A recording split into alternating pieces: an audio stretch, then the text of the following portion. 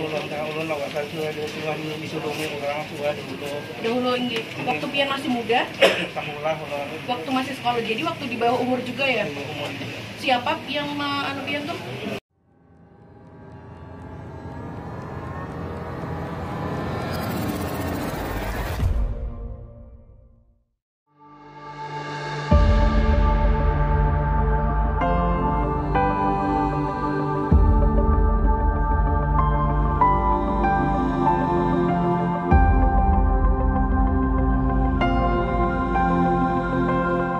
Tidak hanya kasus narkoba dan tangkapan judi online yang diekspos di halaman Polres Hulu Sungai Utara, pada Kamis 8 September pagi.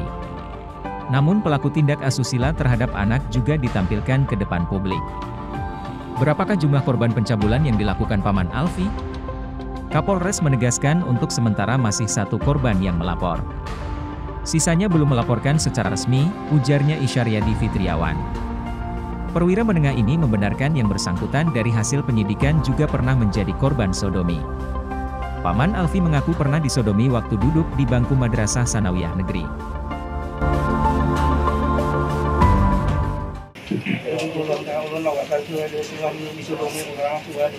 Dahulu nggih. Waktu pian masih muda, waktu masih sekolah. Jadi waktu di bawah umur juga ya. Siapa yang anu pian tuh? Orang tua di sekitar pian juga. Waktu bapak masih sekolah.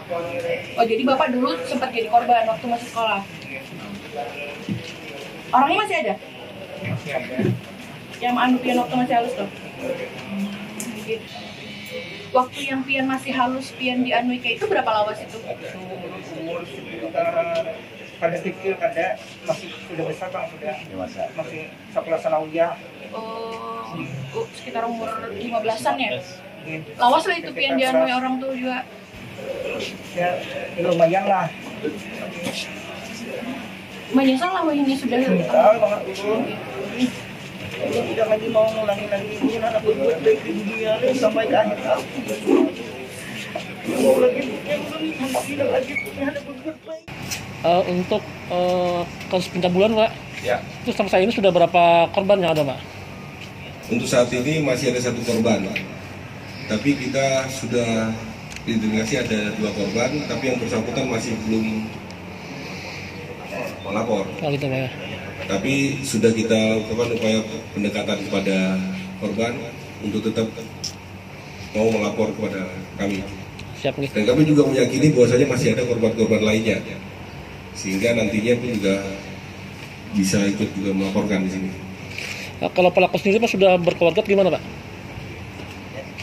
Ah, sudah berkeluarga atau Masih bujang sampai dengan saat ini. Umur 51 tahun. Ya. Untuk korban kedua kemungkinan di bawah umur juga kan ya? Iya, sama di bawah umur juga. Ya, dan karena korban kan di bawah umur dari Polres adakah juga bekerja sama dengan perlindungan anak karena Iya. ya, Kita melakukan upaya kelanjutan itu karena ini menyangkut eh, masa depan anak sehingga kita melakukan koordinasi dengan instansi lain untuk melakukan pembinaan nantinya kepada korban. Dan sekarang kan lebih dari satu itu berdasarkan dari keterangan pelaku atau seperti apa? keterangan ter- pelaku. Tapi karena keterangan pelaku ini ya kami harus mengcross check dengan ya korban-korban kalau memang tidak ada laporan tidak mungkin bisa kita lakukan proses. Kayak dari hasil pemeriksaan itu kita sudah identifikasi korban-korbannya dan kita lakukan upaya pendekatan untuk mau melaporkan apa yang sudah dialami.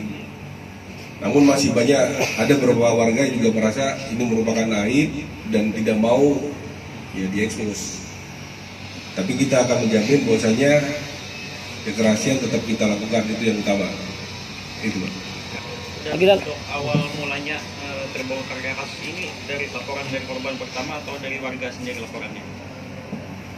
Terungkapnya ini dari laporan masyarakat. Jadi korban ini karena ya sudah dilakukan berulang-ulang, kemudian orang tuanya pun juga mendapat informasi demikian, kemudian masyarakat ya orang tuanya langsung melaporkan kepada kami. Dari situ baru kita lakukan upaya pemeriksaan sampai dengan upaya penangkapan terhadap tersangka. Eh, izin dan eh, terkait eh, korban dari pelaku ini dan. Eh, apakah da- masih daerah sekitar situ aja atau ada di luar dari lokasi pelaku tadi? Pelaku rata-rata masih di wilayah satu kampung dengan tersangka. Ya, satu lagi dan izin dan Apakah- satu ya. kampung dari tersangka ya. ya. Apakah pelaku dan pernah juga mengalami hal serupa dan dari penyidikan? Iya, jadi karena pelaku dulu pun juga pernah mengalami hal serupa seperti ini, sehingga membuat yang bersangkutan, ya begitu sampai dia dewasa ini pun juga melakukan hal yang sama terhadap anak-anak.